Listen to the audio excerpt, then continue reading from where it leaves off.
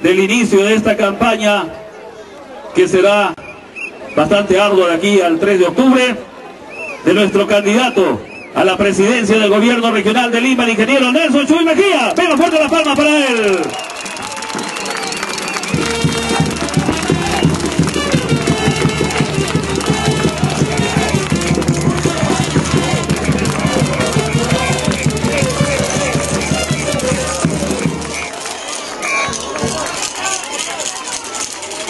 Gracias, gracias Cañete.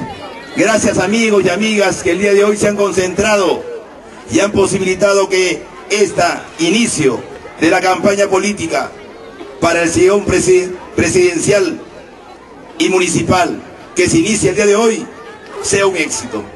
A ustedes se debe. Gracias, gracias por su presencia. Quiero saludar a todos los candidatos, a la alcaldesa provincial, a partir del 1 de enero del 2010, Rufina Lévano. Un aplauso para ella.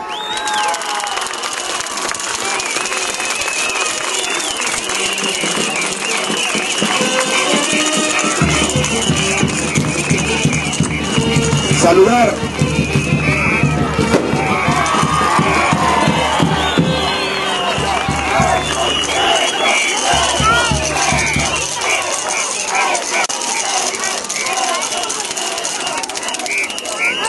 mejor equipo que hemos podido formar.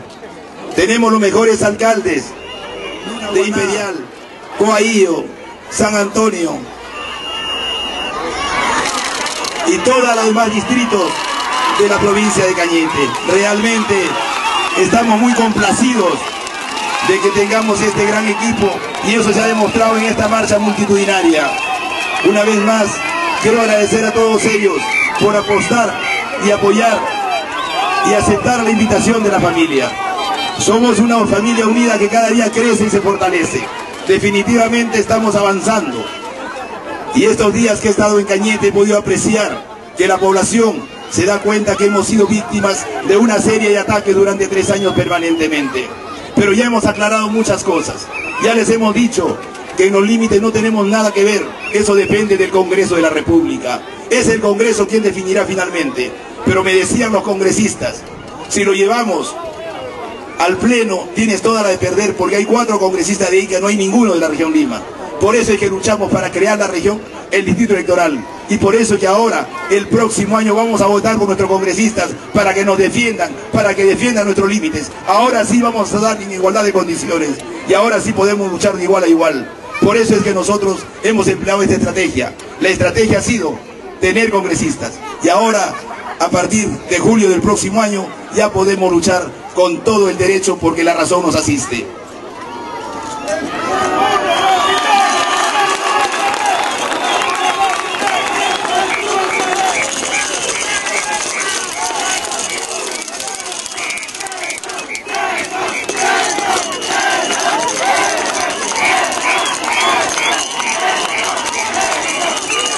Igualmente, algunos malos políticos han querido decir que yo tengo la culpa en la sede.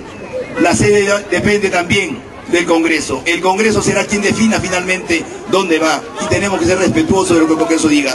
Por eso es que hemos sido víctimas de una serie de ataques permanentemente. Pero ahora ya se aclaró todo. Ahora ya se vio la cantidad de obras que estamos haciendo en beneficio de los pueblos. Tenemos obras de impacto regional, muchas de ellas que quisiéramos continuar. Por eso es vamos a la reelección para continuar las obras, para que las buenas obras continúen, pero sobre todo porque tenemos este gran equipo, un equipo que realmente ha demostrado el día de hoy ante la ciudadanía que tiene el respaldo ciudadano. Estamos convencidos que vamos a tener la gran mayoría de alcaldes distritales y también contamos con la presencia de Víctor Mancini a la vicepresidencia, una persona identificada con Cañete, una persona identificada con la región.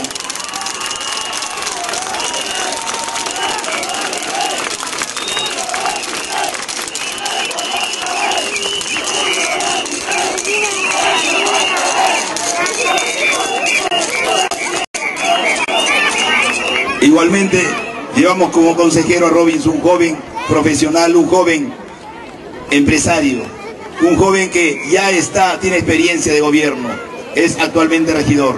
Tenemos un gran equipo y una vez más le digo a todos ustedes que hoy día se lanza justamente la familia a las calles a decirles a la población que el 10 de octubre marca la familia. para regional, provincial, distrital y consejero regional. Esperamos el respaldo de todos ustedes. Muchas gracias.